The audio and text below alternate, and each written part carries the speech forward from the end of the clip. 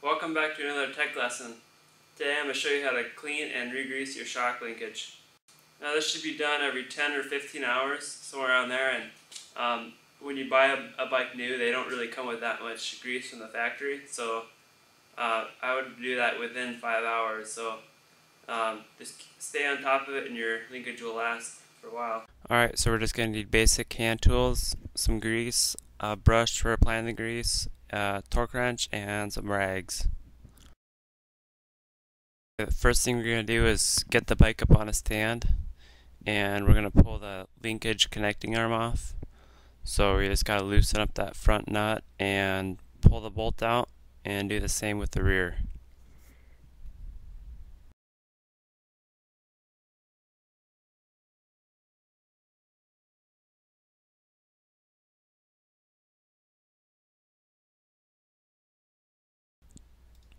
Now to get the linkage connecting arm off, we're going to have to lift up on the rear of the bike, get the tension off of it, and pull the bolts out, and the arm should come right off. And then after that, we're going to pull the triangle piece off. So we got to pull the bottom shock bolt out and the bolt holding the piece onto the swing arm. Now that everything's off the bike, we're going to set it on table and as you can see everything's kind of dirty and greasy and so we're going to go ahead and wipe all that off, just get the linkage clean.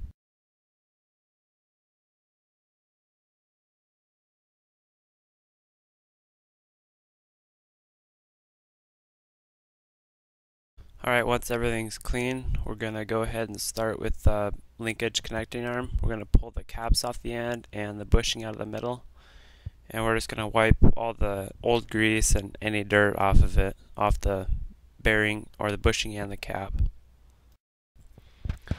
Alright, after that we're going to try to get as much of the old grease and dirt out of the bearing as possible. You got to be careful with these bearings, they're not in a cage, so you don't want to knock them out and you'll have a mess trying to put them back together. And it helps to just take a small screwdriver and get get under that lip of the seal and get uh, some of that old grease and dirt out of there. Now we're going to go ahead and use that brush, um, dip it in the grease and just start lightly putting uh, some new grease on the bearings. Again, you got to be pretty careful here not to upset the bearings in there.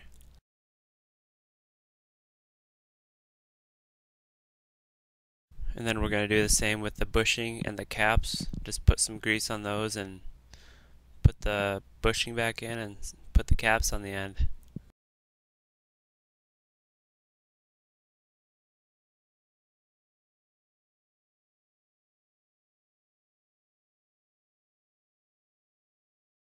And also apply some light grease to the bolt and the threads and you can put it back in and that piece is ready to go. So with the connecting arm done, we're going to move on to the triangle piece.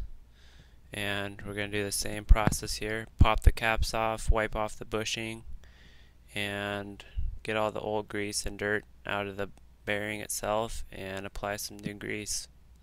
So it's the same process for all the other three bearings.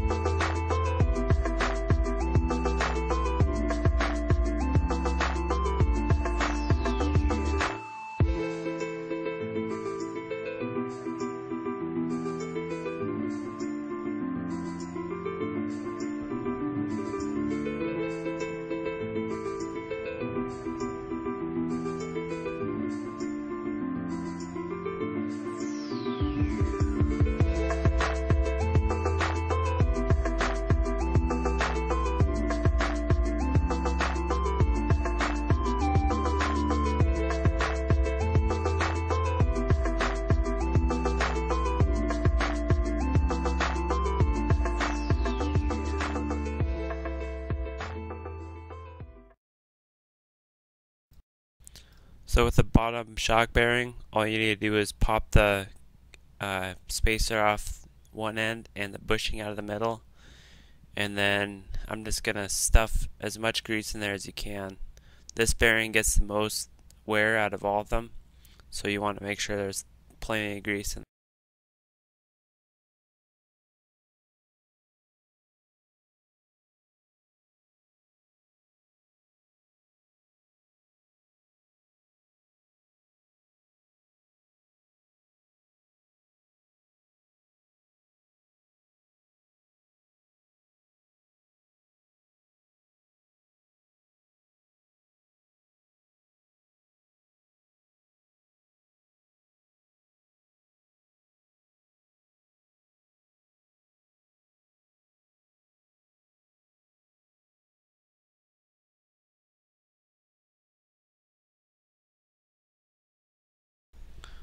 With all the cleaning and degreasing done, we're going to go ahead and put the triangle piece back on the bike.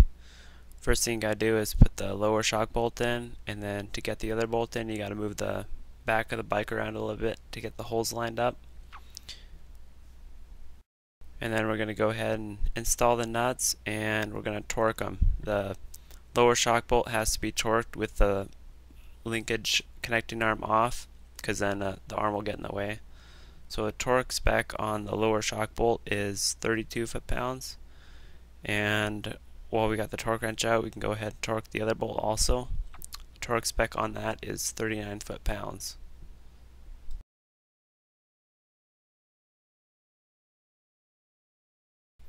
So with the triangle piece on and torqued, we can go ahead and put the linkage connecting arm on. So we got to move the bike around a little bit, get the holes lined up, for both the front and the rear. And so to slide the bolts in, put the nuts on, and then we can go ahead and torque those also. The torque spec on the rear connecting bolt is 39 foot-pounds, and the torque spec on the front bolt is 39 foot-pounds also. So once everything's all torqued, you'll want to take the bike off the stand and just make sure everything works fine. Suspension works smoothly and it's not binding up at all. And something I've always done is check the torque spec again while the bike's on the ground. And uh, after that, you should be all set. You're all ready to go. Thanks for watching this installment of Tech Lesson. If you want to watch the last video where I showed how to change a tire, click this box right here.